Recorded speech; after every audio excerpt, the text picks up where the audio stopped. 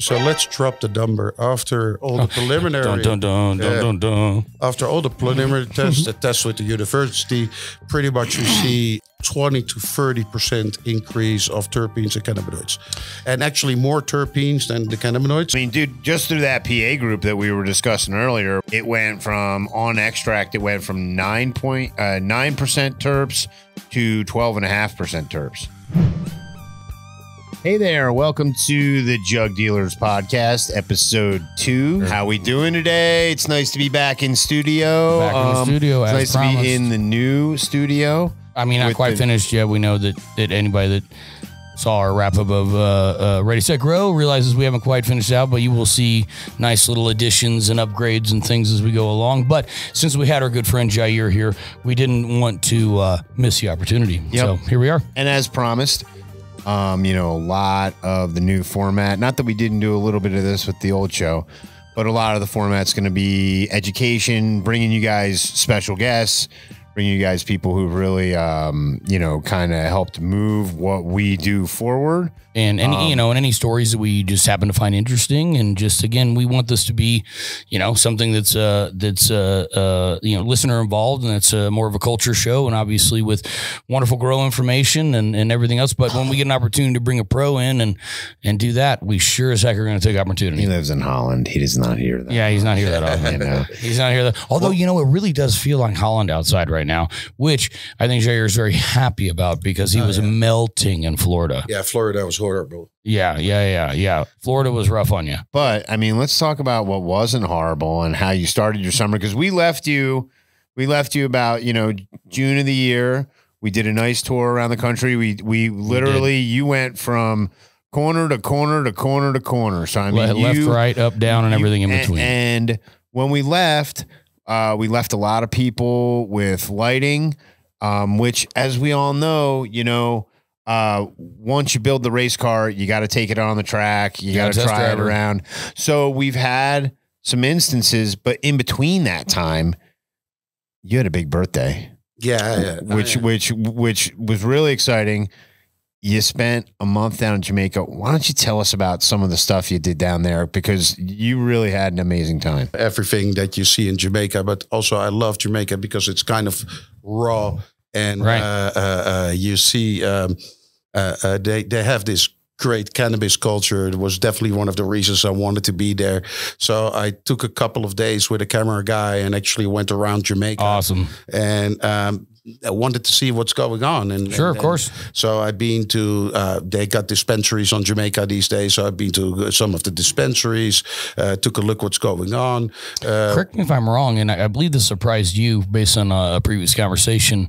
They had some fungi in there too, right? Yeah, they, they mushrooms are legal in uh, in Jamaica. They just have them in the dispensary, and uh, Hello. and that was great to see. They have like chocolates and mushrooms and capsules, and they, they so so. Sign me up. So so uh, I hope that, I hope I hope the U.S. will follow suit on that one. We are a little bit. yeah, no, we we are working on that. Yeah, It- it Depends on what concert you go right, to. right, right. And this that was an unplanned topic, but you know, for for another show, we can definitely talk more about you know some of the things that are going on. But I found that very interesting. You're like, yeah, went into dispensaries and there are mushrooms there too. Yeah, no, no yeah, no, Lovely, uh, yeah, lovely. lovely. So, but uh, yeah, cannabis in Jamaica is kind of uh, a, a, a historical thing. I mean, Yeah, the, the. Rasta, the Rastafari are using it uh, uh, in their rituals, and it's it's like a, a, sacrament to them. But uh, uh, a lot of people over there smoke. I, I have to agree that it's hard to grow over there. There's a really high humidity. Oh and, man, and the heat was I- I- insane. I, yeah, was not there in the middle of the summer. I went to the grows. It was very clear that the plants were suffering. Uh, the, the quality of cannabis on the island is okay. they're trying. They're trying, and and and they're, definitely because a lot of people took some of the knowledge from uh, the U.S. to over there, and also some of the strains. But it it's definitely rough. So like all outdoor. I mean, in the middle of the summer, you figure you couldn't even really do greenhouse. It would just be too too hot, right? Or was there some like semi-covered stuff? There's or- semi-covered stuff, Okay, but yeah. not real greenhouse uh, style. okay. And uh, uh, um, yeah, plants are suffering in the in the summer. They don't do any indoor. Uh, in Hmm. the winter, they run some indoor, but even that it's minimal. You won't find it for sale. Um, the All headies. All, all headies. headies. Uh, you- uh, on the average, the weed there sucks because because All right, he finally said it, folks. so so so pretty much you have a lot of what we call bushweed. Uh, Sure. Uh, so that it's brown stuff and has seeds in it, and you have to you have to smoke like at least ten grams to make something happen. And uh, but the give you a dispensaries, the, the dispensary is definitely up the quality. Um, it, it was very interesting to see that. Um, uh, I think one of the, the nicer uh, trips I took was uh, I went to one of the uh, Rastafari grows. It's it's kind of semi legal, illegal, kind of they're, they're Gray in- area, they're- huh? It's kind of a gray area going on. It's kind of like that Thailand. They just don't really bother it, you know. They just just run it. It, it's yeah, they just run it, and uh, it's cool because they they they grow in car tires. They pretty much they put car tires on the ground and fill them with soil and just put plants in them, and uh, uh, it kind of it kind of works. Uh, yeah, so it, had ki- to- it kind of works. You might get a uh, some extra heavy metals, but uh, it works. it's it's the way they do it, you Yeah, know, yeah. and they do they, No they've been doing that for a long time, and uh, readily available. uh, readily planters. available, and it, it it it it it kind of works, and it was really cool to do, and it gave me. I I had to climb a mountain. That's also why I have my knee brace on. I was on. about to because- say, Yeah. tell, tell Because- us what happened there. Well, uh, well, my- he, my- he he turned fifty and he thought he was thirty. yeah, that's kind of what Yeah. happened. So, Yeah, so in a my, my, my, my, I'm like, I'm going to climb that mountain. I want to see that grow. And my, my head was like, I can do this. And my knee was like, no, you can't. And hey so- man, hey, like I, like I like I said to you in New York this summer though. God bless you for getting out there. And yeah, trying. you went for it, bud. So I see some interesting things. They got a lot of the American strains. I seen that that- that's kind of because the hype kind of got over to Jamaica also, but they also still have the things that are locally like their lamb's bread and things like uh, the, the the the the purple kush and things that are really for the island. And I thought that was really interesting to see. Um, um, and after that, I uh, because that was a Rastafari grow, they actually took me to a place that a little bit more down on the mountain, and we had a steam chalice ceremony. Mm. Why don't you tell, Yeah, tell, us about that? Tell us about Yeah, that. so so that's the way that the Rastafari actually smoke cannabis. It, it, it's pretty much a coconut that's made into uh, uh, um, a water pipe, a bong, and only the the head is uh, ceramic and it's pretty big, and you. They put like four or five grams of wheat in there, All right, and then back they it put up. like back this little up. ceramic plate on top, and they actually put like burning coconut uh, uh, Coals, coals on top. Okay. And actually, it's a it's a way of vaporizing. That's what I say so that they're not burning it; they're vaporizing They're it. actually vaporizing it, and that's Interesting. so I- so so, I- so, so traditionally seen. It's it, it. They never smoke it; they vaporize it. Well, and interestingly enough, that I don't know, maybe it's just the terminology steam chalice. That always kind of threw me off a little bit. It threw me off. Also, I thought when he says when he said like, "Oh, we're going to smoke a steam chalice," and I'm like, where's the and I'm like, "Where's maker? where's the steam at?" But the steam is kind of what you're. It's the vapor. It's, It's- really it's- it's a it's a it's a water filtered vaporizer. yes, Interesting. and that was and that was really nice. It was really smooth, Smooth. smooth and it was good and uh, uh, super low tech. If you see all the vaporizers these days, I Oh, really, man. I really enjoy that. It's not your it's not your peak, right? But uh, again, just because it's low tech doesn't mean it's not effective. No, it was definitely not effective. Actually, that's a really good way of doing it. Hey, sign me up. I'm into it. Sounds great. Again, I was always throwing up. I, I don't know. I guess what I was thinking really. Right. Yeah. I, I'll be honest with you. I hadn't even heard of it before. And I feel like, yeah, I, that's just my own ignorance. It's like, give me a before. coconut. You know, let's Yeah, go. We're out here doing hot knives and that Right. stuff. You know Well, what I mean? Speaking of hot knives, um, actually, we, geez, we're kind of good at this. Um, we we, we were able to procure some very interesting, uh, and I'd like you to chat about that a little bit, Jay, just because it's something that's very rare here in the U.S. But some some you know some Afghani extract that is in the old way and Yeah, it's produced in the old way. So, so pretty much yesterday, I met somebody who really wanted to talk to me and says, "I got something really special for you." And he comes and he brings true legacy Afghani primo, and uh, it's uh, it's uh, well, I got it quite dark in color, It's but very fragrant, color, very, very tacky, very pliable. Different. Explain, Pliable. explain to us how it's like different than the Charas. Because when I first saw it, I, I thought it was uh, done in the Charas method. Well, charas is hand rubbed. So Yep, if, yep, you, yep. if you, you go to India and they people they hand they, they rub their hands on the plants, Yep, yep. and then then you get something that's that's more a, a live product Mhm. because and it's also done at a very specific time, from what I understand, actually quite early, almost like they do with some of the live Mhm. resin now, how they Yep, go in that like four, five, six weeks kind of stuff. Yeah. Yep. Yeah. So so that that is that is charas. This is uh, uh, Afghani is made in a different way. Aged properly and for long term. Yes, and, and, and pretty much they they they take the glands and then they uh, use this this this heat treatment Sure. that is also already decarbing the product. Right. course. Activating it. uh, activating it. They make sure that all the glands are broken down, and then they start folding it over to each other or rolling it out. And they do Busting up those heads, getting those oils all out there and active and smushed around. And oh, Yeah, that and then- sounds and- lovely. originally in Afghanistan, Mhm, after mhm, that, mhm. they actually put it in linen bags and they bury it for a while. So, of course, that that didn't happen in this case because this is actually made locally right. here in the U.S. Locally made, but in the old way. in the old way, and and pretty much this one that we have here is uh, aged for two years. Mm. And the nice thing, and this is different than all the other concentrates that are out there, this actually gets better over time.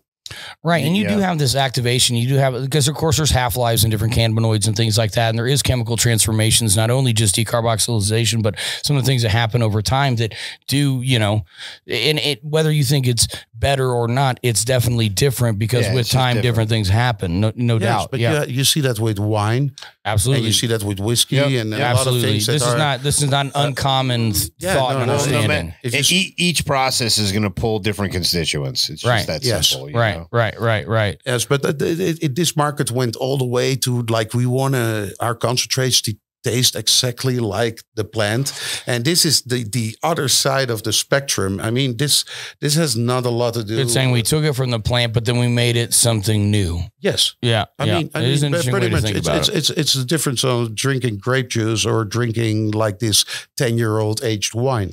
Well, it's funny because when you busted this out, you know, I was like, I haven't seen stuff like that in 25, 30 years. And then as soon as I hit it, I was like, yep, 19, 1994 called. Yeah, I was gonna say, yeah, Dead Tour 94 Chicago. Hello. yeah. Yeah. I'll be honest with you. That actually is the exact show. We actually, Well, nothing nothing better than no no. There's nothing better in life that things that trigger happy memories. Right. So Yeah. so, Well, it's so- that 100%. nostalgia, the nostalgia effect, no doubt. But I will say it's very complex. If you look at it and go, well, this is dark in color and things like that. Yeah, it's got oxidation, it's got time. It's like it is aged. It's supposed to look like that. And and and I'll be honest, the, the flavor was very complex, but even more so, the effect was very uh uh it's different. it's different. it was fuzzy. it's heavy duty. It was dude. fuzzy and it was heavy, It- you know. Yeah. But like you get that, it was like that head fuzzy, heavy, fuzzy vision kind of stuff going on. It was definitely Yeah. like this is a different.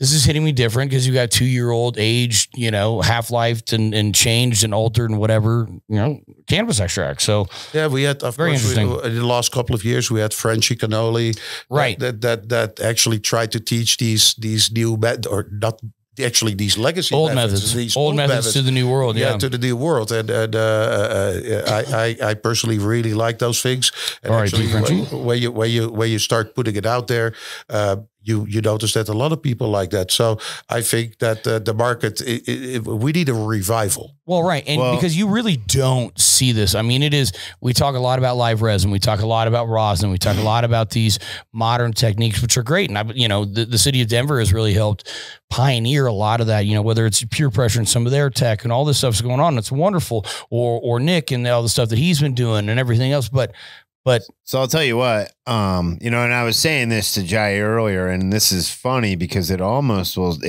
it almost segues into the next segment a little bit. uh-oh. But- But um, you know, I had I had said to Yair, um, I had some friends out in California. They did that summer light dep, and that harvest that they did from May to July Mm-hmm. would always put out just they would grow OGs and it would put out the greasiest, greasiest herb in which they would make these. If you anybody who's listening to this podcast that knows Grass Valley knows exactly what I'm talking about, and they would make these one ounce pucks of of you know uh you know product that was exactly like that was very similar Old to that. world extract style. Yeah. And so one thing that we've kind of started seeing is, you know, if you think about that time of the year, you know, I always say to folks, uh, one thing that was always really cool about that time of the year is 7 a.m. they pull the cover, it's Sure. full sun. Yeah. 7 a.m. the 7 p.m. they pull the cover, it's full sun. well, especially well, that time of the year, yeah, the sun's dead high. and so what over the solstice? Yeah. So Yep. what have we been pushing with Yair this whole year around the country? The UV light. Yes. You know, and, and that's really that's that simulation of that Grass Valley, Yeah, middle of summer, high full- intensity. high intense. And what you know, if we can just talk about it right now, now that he's back, now that it's been for five, six months that we've actually had the product out, what's the one thing that we're seeing that's really consistent out of the results? We're seeing elevated levels in oils, which is this Well- is the stuff we've been talking about. Well, and this is the stuff we'd expect. By the way, this is not something that we did not expect. We expected that to happen. This is UV. It's going to create that kind of positive stress. It's going to get the plant to put out its own natural sunscreen. That's what it's really doing, right? So it's not doing anything that we didn't think it was going to do. And we knew that sunscreen, by the way, is literally what we're after. So um, what this is only doing is just affirming yes. the things that we. that we already thought they were already do. And of Right. course, we did preliminary, preliminary tests, but putting it in the hands of growers and actually see what their results are. and getting the anecdotal evidence as well, right? Yes, because we but- are trying to get all kinds of different evidence. We're trying to get evidence direct from growers. We're trying to get white paper evidence. We're trying to get testing results. We're working on all this, which we're actively doing. And um, as we get this stuff, we will continue to share it with you because it's very exciting. yeah, so before I, I was here before the podcast, and I remember saying it's going to be more, but I didn't really pull any numbers because we were not totally sure. So we did a lot of testing also with the University of Wageningen, de Ver.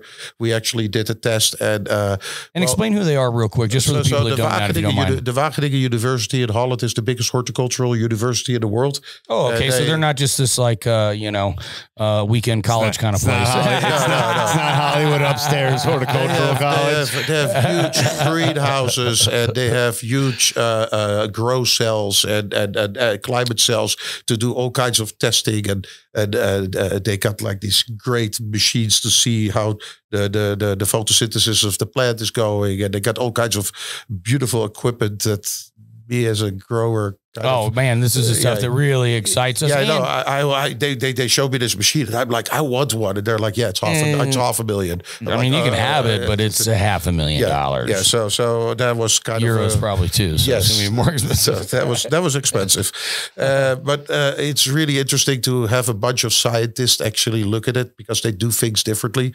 So we uh, they also were were at, at this moment I don't have all the results yet because the test just ended. I know some preliminary results that I can already share, but also instead of just looking at how, how the how the oil production was, we also tried to figure out a couple of other things, like is uh, UV systemic? which for me made I feel like we knew things like terpenes, cannabinoids, things were going to be higher because we think about it from an evolutionary standpoint. By adding that part of the spectrum, that did not surprise us at all. No. What is helping validify what we've got going on, and even the fact that we're using 150 watts per 4,000 watts, all you need to do preliminarily, it looks like all you need to do is tickle these things with a little UV. And even if it only hits one side of the plant, it is systemically altering the other side of the plant as well. And if we can actually get those white papers on that, well, we, we I'm very we, excited. We tested one side of the plant that was actually in the light of the UV right. to the other side of the plant. And I'm not sure, but uh, at this moment it looks like it's systemic, but uh, they're still doing a lot of calculations. And, and now, and now let's be clear. You know, saying that there's some systemic value doesn't necessarily mean that the side that got hit with it is go- and the side that didn't is going to be the exact same values. But let's say it would be here and it's brought up a little bit here, but the side got hit with it true. might still be higher, right? Yes. These are things, and that's the shit that we're working through right now. Is really trying to figure out what are the differences, and you know, and something like that. But again, what it does is validifies the fact that we're setting these up as true light additives and, and, and, and it has nothing to do with an addition of intensity. It's a true light additive, just like a nutrients. You got base nutrients. So your base nutrients is either the LEDs, the HPS, whatever you're running.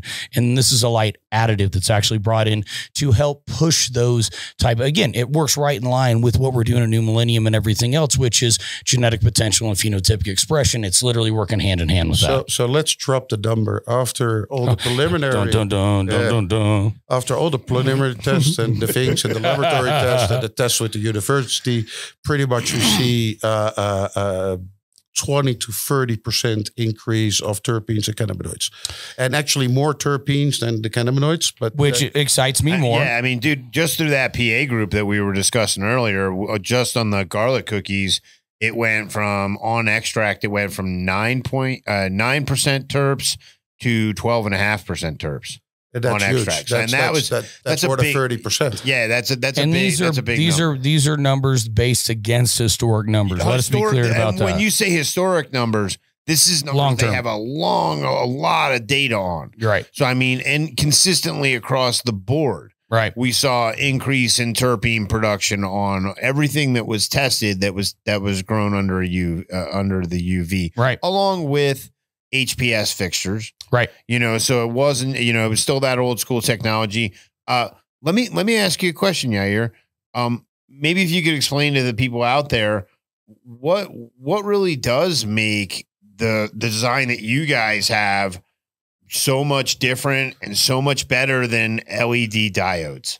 Well, uh, yeah. Well, we test with LED diodes, and and and, and the Been thing is, done the- the- we of course we test with everything. We're a lighting company, and uh, uh, the thing with LED diodes, they have a very narrow width. the- Yeah, the- the- bandwidth. So it might be bandwidth. some UVA-B, but it's not all UVB. just so- as an so example, it's just a little bit. a little bit of Uh, UVB. yeah, it's it's it it, it it it does make a difference on the plant, I and mean, it's if enough in there that we can say that's in there, or people can say that it's Yeah, in there. Yeah, yeah, and it's it it works, but it's more like a sprinkle.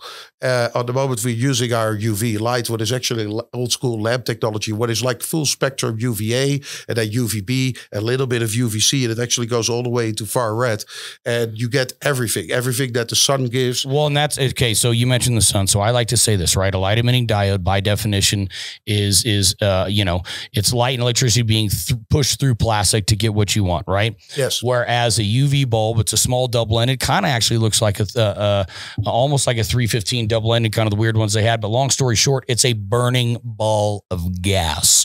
What is the sun, Gabe? What's the sun? Oh, it is a burning ball. of burning gas. ball of gas. So to me, that that that helps people get their mind wrapped around that. Like Yep. that's what you have to have that reaction. You have to have those heat levels in those lamps to actually be able to create the, the type of spectrum that we want. And what we're trying to do is take the par that's already there that we know is already in the room and add to it again. Hence this And UV. for additive. everybody who didn't follow the last uh, podcast, it's the UV light is not a very powerful light. It's only 150. Only Yeah, watts. 150 only watts. 150. It doesn't put out a lot of heat. And you only need one for every four top lights. So you do it like 100 square feet. which this whole systemic aspect of it, that's what's so exciting. You're using only one and a half watts per square feet per unit. These units are going out the door, you know, to end users, 550, 600, somewhere right in there. So you look at that as an additive that you split that around off of 4,000 watts and you get these kind of numbers increase. Dare I say, dare I say, and I believe I mentioned this last time, we're looking to reset the bar. Yeah, this is You this- reset the bar uh, once. it did- I did it once, and I truly I came back to the market because I believe that this is another one. This is uh, if you're not testing this technology right now, and you're not going to jump on it, You you're going to be behind. you're going to Yep. be left behind. And we've seen that with the introduction of the DE lamp. That if people didn't jump on there, they got left behind. And I can tell you It, that it established new numbers. It Well, just did. yeah, and if you look at it, and every everybody gets their laboratory test these days. Yeah, thirty percent, twenty to thirty percent more. That's a huge difference. It's a huge number. It's a That's huge, number. And also, if you look at the money Well, wise, yeah, if you, make you, make extract, it's a giant. it- it's a giant number. I mean, in, in, in commercial agriculture, let's be let's be clear. If I went into a commercial operation, uh, a tomato operation or something, I could promise them one percent. Every PhD at the table would fall out of their chair. yes, well, and I, and, I, and, You know I, what I and, I, mean? and, and I'll be honest with you. I think moving forward, you know, you have these states like Maryland where it's a THC game. You know, when you start getting into some of these markets where all of a sudden you're going to I'm be glad able to make that a up, yeah. game, and you're going to be like, hey, not for nothing, uh, these other five places that also have garlic cookies. Right.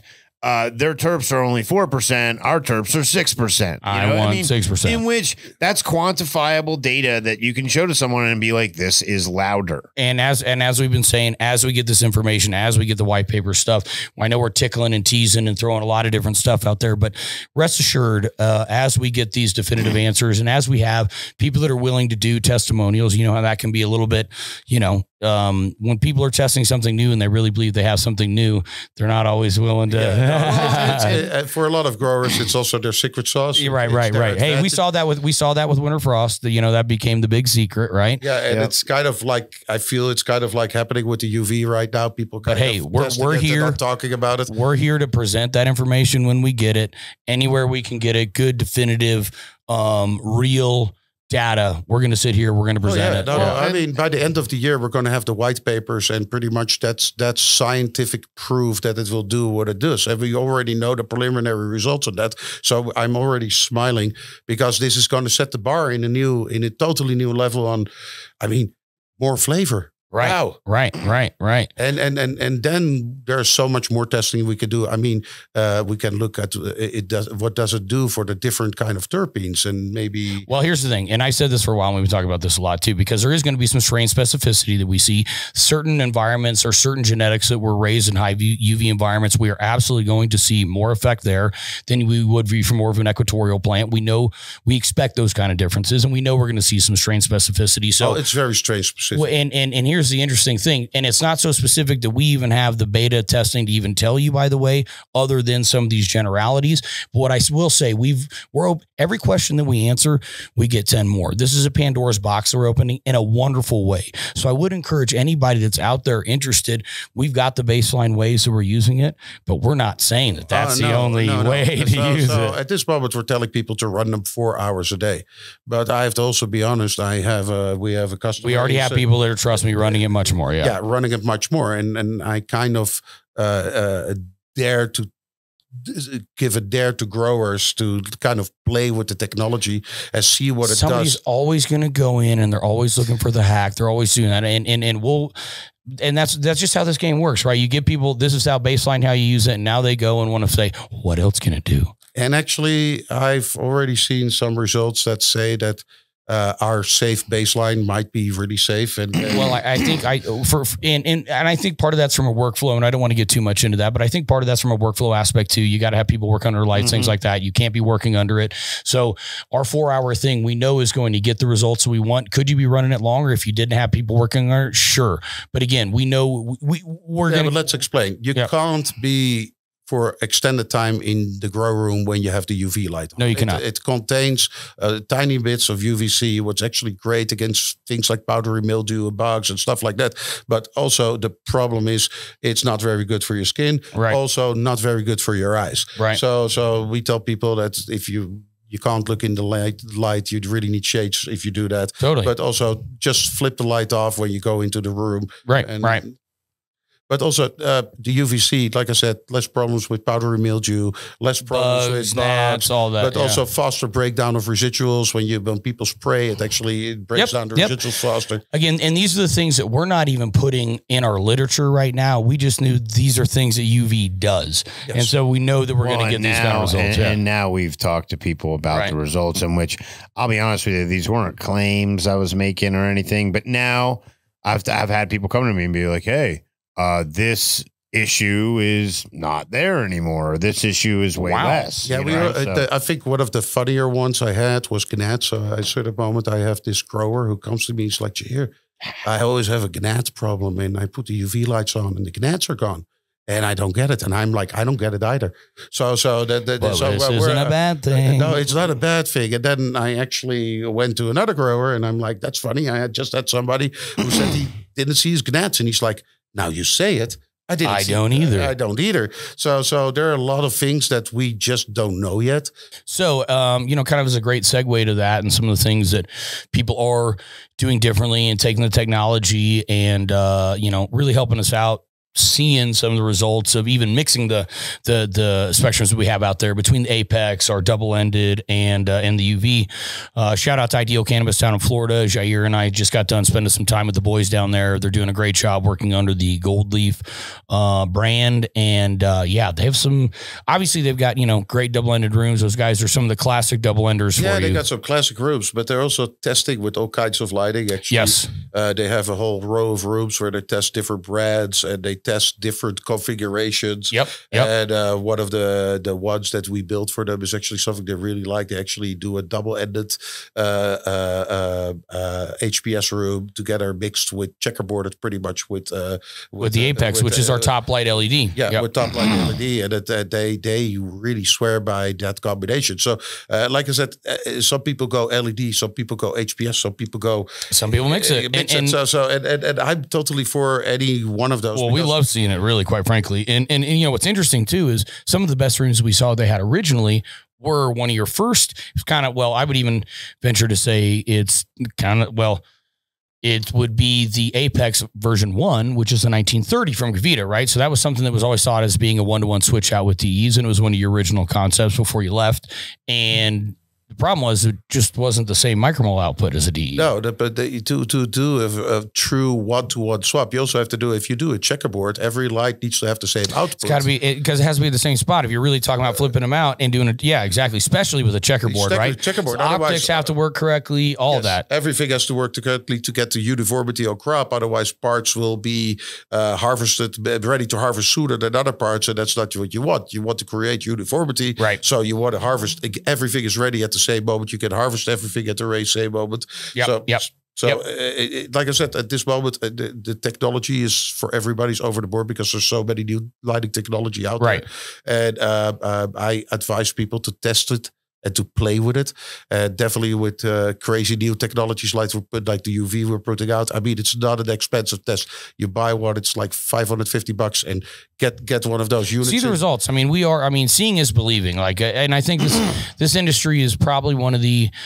The, the biggest doubters, uh, you know, around Oh, or yeah, in this industry. No, no, you know what I mean. And everybody's really into their way. You know what I mean. We had a meeting, you know, eh, down in Florida where this guy, you know, thirty year grower in the same fucking way. There was no way we couldn't pay him to do something different. Yeah. You know what I mean? And and uh, you know, at the end of the day, you go, okay, that's fine. You know, but new technology is for people that really want to push the envelope and want to do something different. Again, if you're using technology, you have the ability to create the data points to create new data points, new bars, new levels. And again, I really believe that's the kind of stuff that we are on the brink of here, of just establishing, well, it used to be 5%, now it's seven. I mean, can you imagine if, if, if we were able to come out and really say, look, this is the game changer? Well, I mean, Well- let's let's just cut to the chase, dude. We're trying to simulate the sun inside. Right. Yes. Let's just let's just, let's just really simplify it. We're trying to so meaning, meaning what was the main thing we were always missing? Yes, well, that UV. was UV. uh, that- and who and to be honest with you, who knows what else we're missing? Well, I mean, I think there is other know, things think- there, but I, I think, this is step just- one. We're just at the tip of the iceberg right now because we're realizing that hey, UV is something that's important. But again, the sun is a it's a pretty She's know, a complex beast. Yeah, yeah, it- absolutely. It, powers our whole it, it powers our whole planet. So well, there's a yeah, lot. yeah, yeah. You know, I think it's a whole show to get into whenever that. whenever you know whenever you bring it inside you're trying to bring in the best parts of nature but Right. much like we say about beneficial bacteria silica you know sure it's not an essential element does it does that mean that it doesn't have any benefit of course it has benefit. Of course, it has benefit. you know so and and you know to say just to, to segue on what you're saying you know plants uh, evolved right along with these single celled organisms like bacteria fungi protozoa all those kind of things. Well it also evolved right along with the sun Yep. because that's its life source. They're Yes. an autotroph. We're heterotrophs. They create their own food. We have to seek our own food. And where do we seek our own food? Either directly from plants or from animals that inevitably somewhere along the line eaten a plant. True. so no plants no people. So yeah, um, um, and on that part, I want to say if you if you got a a nice license grow and you really want to test something out, to like like reach out to five eight. Yeah, and, and take a look on Jair's page too. I, I did want to mention that because I know you put up some good pics from the from the trip too, and some of the some of the mixed rooms and things like that. That really is very unique, very different. I come to my Facebook, uh, Yeah. Jair Velleman, and uh, There you go. I, I I always show a little bit what I'm seeing in, in in this country and when I'm traveling around, and some of those things are interesting. And And you will be able to see a lot of these things. Uh, we're in the process of getting jugdealerspodcast.com going. So you'll be able to actually uh, link through there to all the things that are everything 5.8, which 5.8, of course, is not only powered by quality, but sponsored by things like New Millennium, Dutch Lighting Innovations, our friend Jair here, Silicium Scietetics, Ruck Air Movement Playground, and of course, and certainly not least, Black Flies Eyewear. Black Man, Flies almost- Eyewear. Dude, it is almost like we've done this, this before. Uh, what a great way to leave the show. You know, we're really happy you came through while Thanks you for were coming by. We don't get to Thank we, guys. we only get to see you in Denver a couple times a year. You're touring around the rest of the country for the rest of the year. Uh, for anybody out there who needs anything, please feel free to meet out, reach out to me at G Money Love. Reach out to Jaron at Jaron H at Instagram, Yep, or you can ask for Jair DLI. uh, Five eight. Any of them, especially you'll, you'll of find them. us. And you know, last but I, I feel like with, we're almost a little remiss by not mentioning this. We do have reservations. Uh, a shout out to Bruto uh, in Denver for getting their Michelin, Michelin star. star. yes, They Yeah, got the, this I- is It, it's good for us because we had made the reservation before. pre- previous to that. but I, I I will be honest to say that I definitely was calling that we needed to make the reservation. you did. You said that. You actually said that. You actually said that. they're going to get the Michelin star, and they once got they, their, do, they got their star two days ago. Two days Yeah, ago, they two got their days star on September 12th. Well, and I guess we're giving away when we actually recorded this. But who cares? Uh, so we're going tonight. It is Jair's favorite place in Denver, but also one of his favorite places in the U.S. And believe it or not, this man has been around the world and has eaten some wild shit. Yeah. So for him to say something like that It's- is it's, that means you go. It's mind blowing. So yeah, definitely. If you're in Denver or area, that Bruto is B R U T O Yeah. Bruto. it's definitely the place to go. Hey, thank you guys very Thanks, much. guys. We love you as always. Peace. See you soon. Cheers.